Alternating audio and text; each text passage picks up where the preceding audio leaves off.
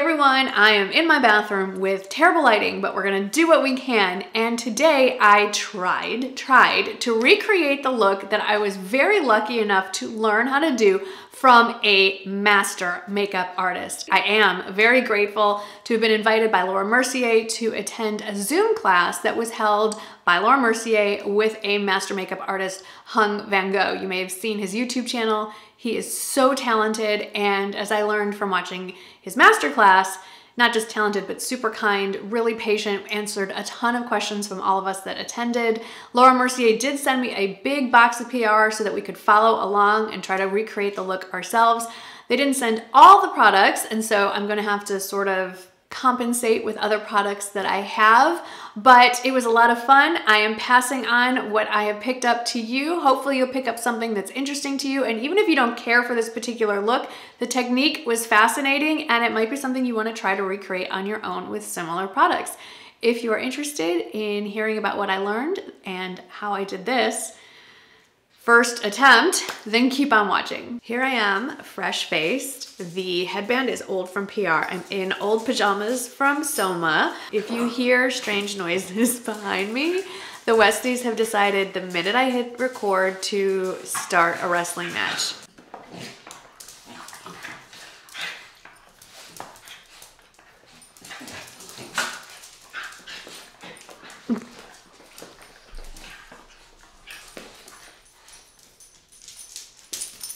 Oh no.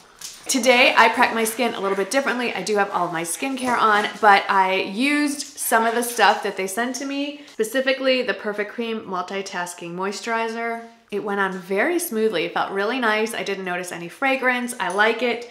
And then for my under eyes, I used their illuminating eye cream and I can tell you I did see some brightening under the eyes when I put it on so I'll keep you posted on that. You know I love the SkinCeuticals UV Physical Defense sunscreen. I've been using it in more of an oil version that has tint to it but when I ran out the one I ordered in its place was just the regular sunscreen. It's just a white kind of, I don't want to squeeze out too much of it, but a little bit of a white cream, you know, the typical stuff does leave a little bit of a white cast until you rub it all the way in. So that's what's on my face right now.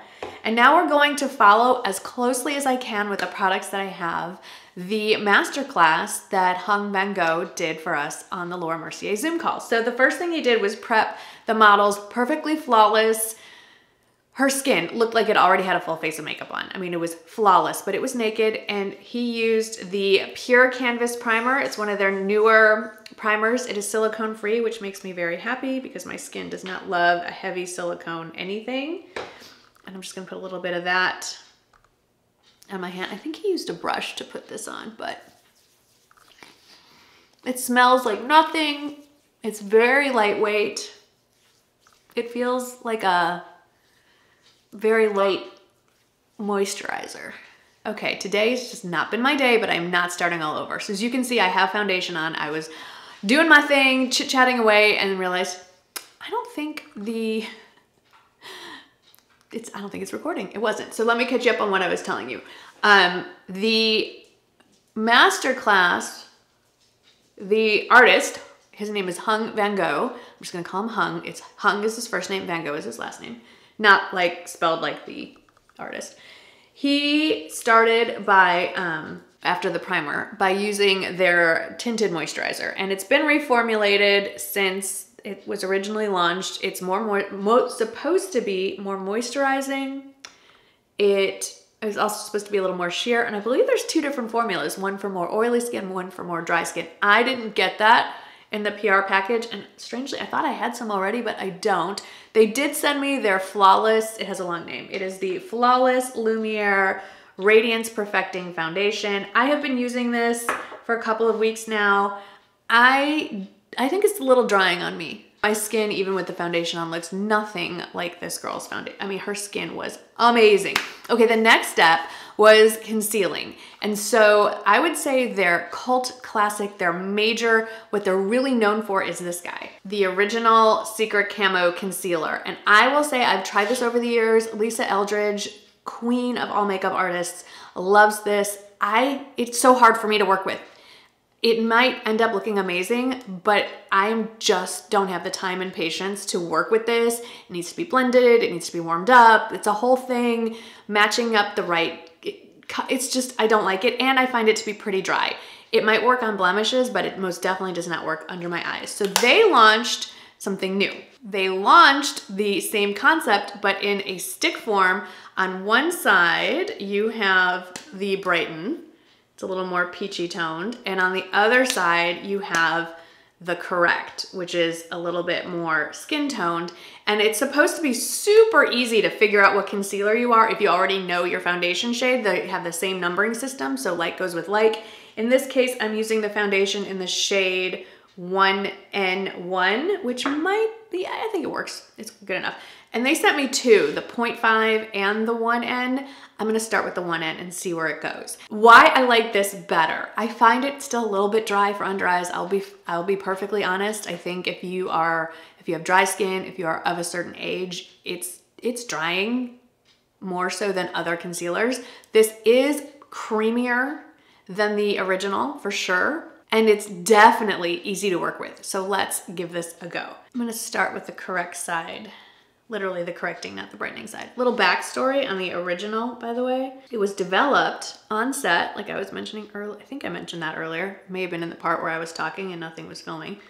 And it was developed on set to deal with retouching because back in the day, they couldn't retouch with, you know, Photoshop and Facetune, all that stuff didn't exist, but they still had to get those flawless looks on the models. At least they thought they did.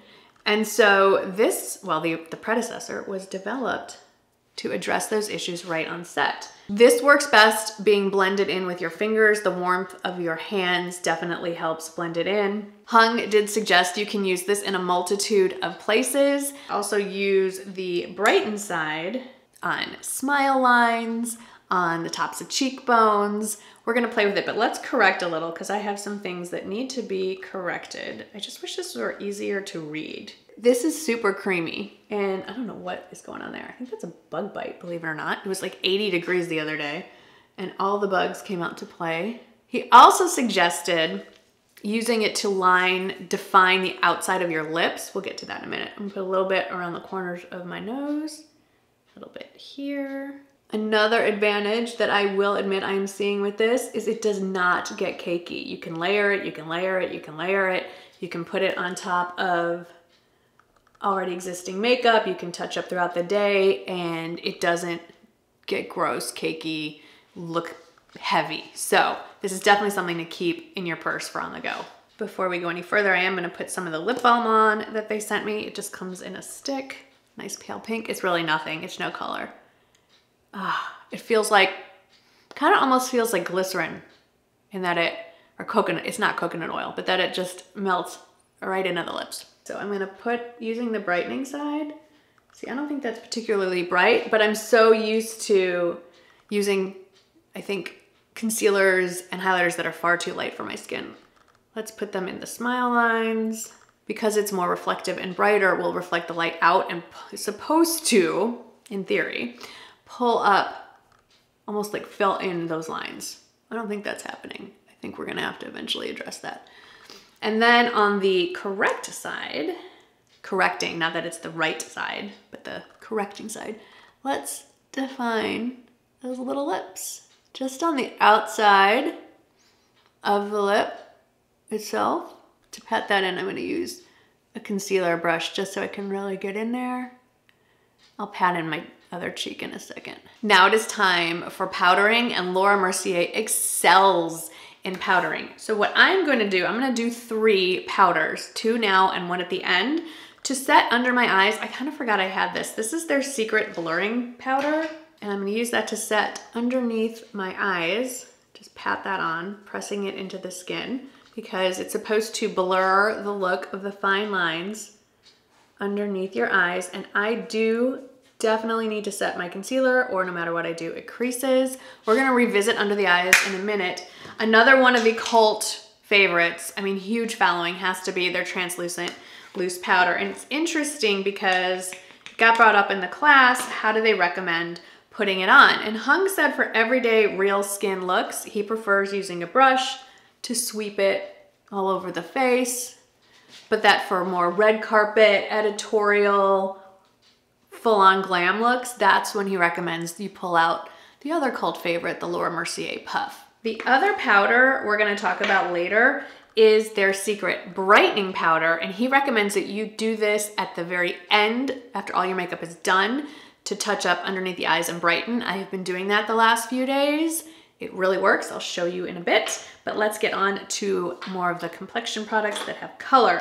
So next step is bronze and he loved using the Matte Radiance Bake Powder in the shade Bronze 01 and I'm going to use the bronzer brush they sent.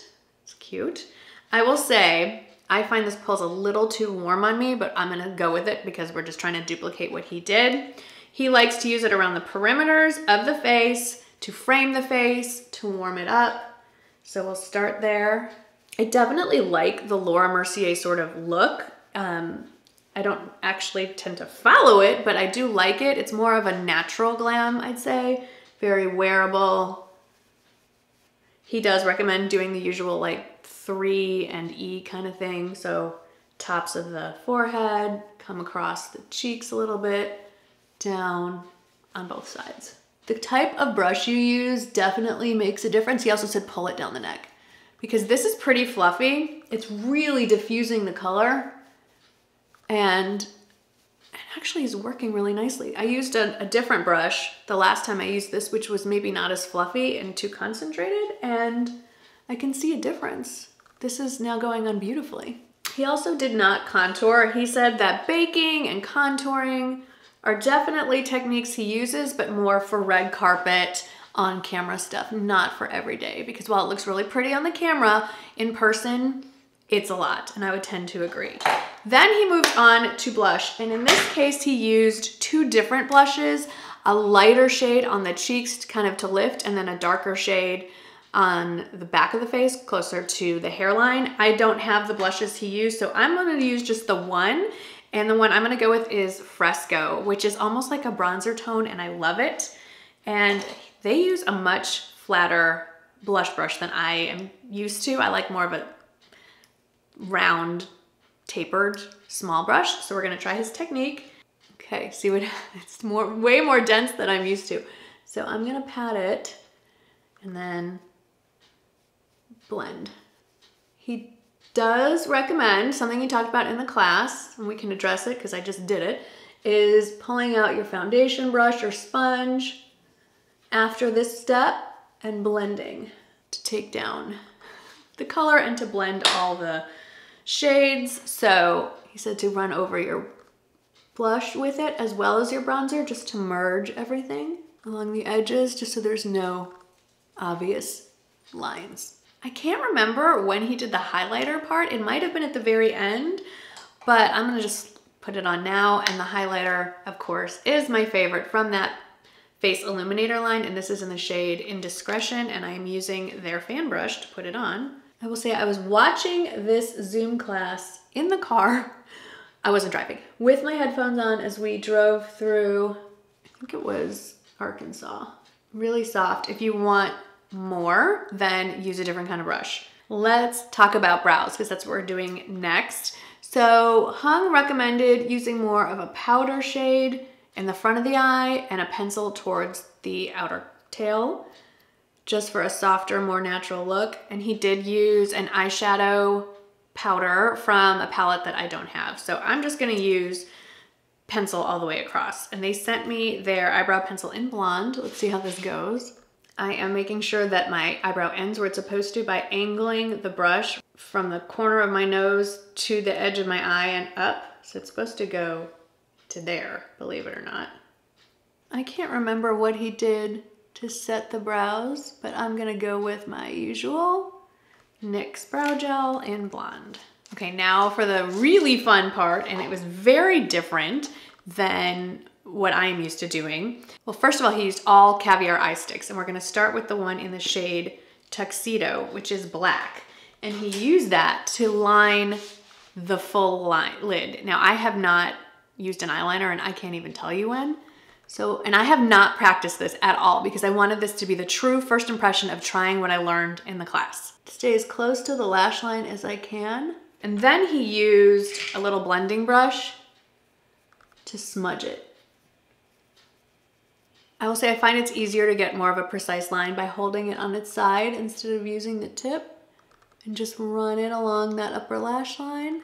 Okay, let's back it up a bit. I actually did this a little bit wrong. He used one of their Longwear eye pencils, not a caviar stick, and he used it in the shade Espresso.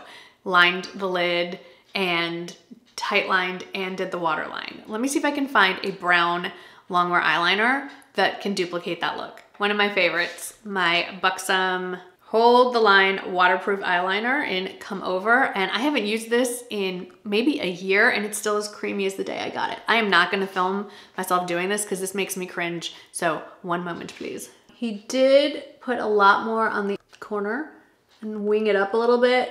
The model was Asian, so it's not that she had more lid space, but she does have more space up here. Anyway, I'm going to try to approximate it. And I did just go over the top lids with that same brown liner to try to get the same look. So right now, this is very different than already how I normally do my makeup. So this, to me, is fun. Now we get to play with the caviar stick. So he used the shade Cocoa all over the lid and starting at the lower, the lash line, I should say. He kind of avoided the inner corner. And this is so dark. Oh my goodness an interesting discussion came about about highlighting the inner corner of the eye. And he said, I'm gonna pat with my finger to kind of blend it up. This is so not how I normally do my makeup. He is not a fan of highlighting the inner corner because he said it actually shortens the eye. It cuts it off where you highlight it. Okay, especially in my case, I don't have a lot of lid space. I also clearly have no talent in blending with my fingers. Let's try blending with the brush. So I'm padding, but I'm also kind of shearing it out. I think Amazon just arrived. With my eye open, it's actually pretty cool, but I need to blend this line up a little bit more. I'm gonna pull it up a little bit to the actual top of the eyeball above the crease and then go back with that brush and blend. I will say this technique definitely requires some patience and a lot of blending. He even did a little bit on the lower lash line, like a little bit I'm dotting and then blended that out as well. This is the Real Techniques domed shadow brush. And I still have to say of all the brushes I have, if you're trying to blend out cream eyeshadow, this is the one. Let me do the other eye.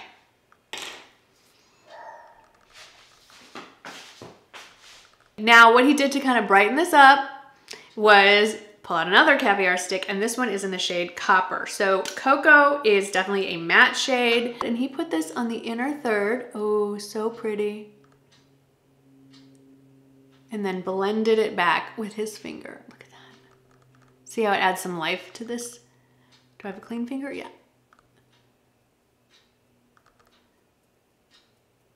Okay, that is already so much better. Another trick he showed us, which made it look more shinier and helped to blend it out, was he took a brush and he ran it over the top of the caviar stick in copper, and then he blended out the edges. All right, let's finish the eyes. I'm gonna curl my lashes and I'm going to use their mascara which I've never used before. It is the Caviar Volume Mascara. I will be right back. I'm gonna get dressed after that and then we will finish this up with lips. I still think I look a little weird, but okay. Um, I don't know. It's a little different. I will put the links for this new top. This is from Anthropologie and some new earrings. I just feel like I'm ready for spring and big earrings and fun and I'm just gonna make it happen, even if I'm just hanging out in my bathroom. So let's do the lips. This is a lot of eye. So he lined with a different liner, but this is the only one they sent me, and this is as close, it's close to the one he used. He lined the lips with chestnut. This one is hazelnut tea. And he's a big fan of overlining the lips, but not to a ridiculous amount. So he basically says, it's gonna be hard to see because there's not a, this is with lip filler. Can you even imagine? Anyway, there is a ridge, like my lip pigment ends here but there's a ridge above it. And he says that's what you need to follow is the ridge, not the actual color of your lips. So let me do that because I can't talk and do that at the same time. I'm gonna smudge this a little. He said, if you're gonna overdraw, don't do it on the outer corners, do it around the center of the lip. The lipstick he used was the shade Brune Pale. It's a really pretty nude peachy toned, I'd say. Not a shade I go for. I gotta do something with the lip liner over here, hang on. Okay, we're not done yet. I definitely have to redo my hair. But the last thing he did was go back in under the eyes with the Secret Brightening Powder. Now, if you follow my tutorials, you know that I always use the Trish McEvoy under eye, like the instant eye lift, and that really brightens, and I didn't do it today, and I can definitely see a difference. Now, I did also use darker shades under my eyes, on top of my eyes, but I have a little bit here, and I'm just going to press, press, press. Only on one eye, so you can see if it makes a difference. This is with the Secret Brightening Powder. Well, now that the sun is shining. Okay, so this is with the Secret Brightening Powder, and this is without. Do we see a difference? I do in person. I don't know if the camera's gonna pick up on it. So here is the final look. And I'm not sure how I feel about it. Um, it's very different than what I normally do in so many ways, but it is fun to try new techniques. This is my first attempt. I definitely have learned that I need to work on blending. This is nothing new, but it's just been reiterated here. I do like the technique of using a matte shade all over the lid and then more of a shimmer metallic shade on the inside, but I think I would change up the colors. I think Cocoa's a little too dark for me and there are a ton of options in the line, which is good. I like the idea, I didn't get to do it today, but I loved the idea of using two different shades of blush to kind of lift the cheeks. I learned about, well, I wouldn't say I never knew it, but it was nice to get certain techniques just relearned brought up again to the forefront of my mind, like when I line my lips to follow the ridge and not so much the pigment, to use concealer products to lift lines and, and de-accentuate, de-emphasize lines, like putting concealer here or putting it on the tops of my cheekbones for highlighting. I, the little tweaks that he does that make him such a master, of course, but little things like I rarely go back in and blend out my bronzer and blush with the foundation brush or sponge to kind of blend everything together seamlessly. It's those little things, that little extra time that he took in doing everything that made his look look so much better than what I did today. But what I was going for here was not how to perfect something or how to make me look just absolutely amazing. It was to go out of my comfort zone, to try something new, to follow along with a master. And that was the fun part. I hope you enjoyed this little experiment with me. I do have different Zoom classes that come up from time to time. And if you enjoyed this, let me know. I'd be happy to share more of the things that I learned from true masters, not me. So let me know how you like this in the comments below. Thank you so much for hanging out with me today and I will see you in the next one. Bye.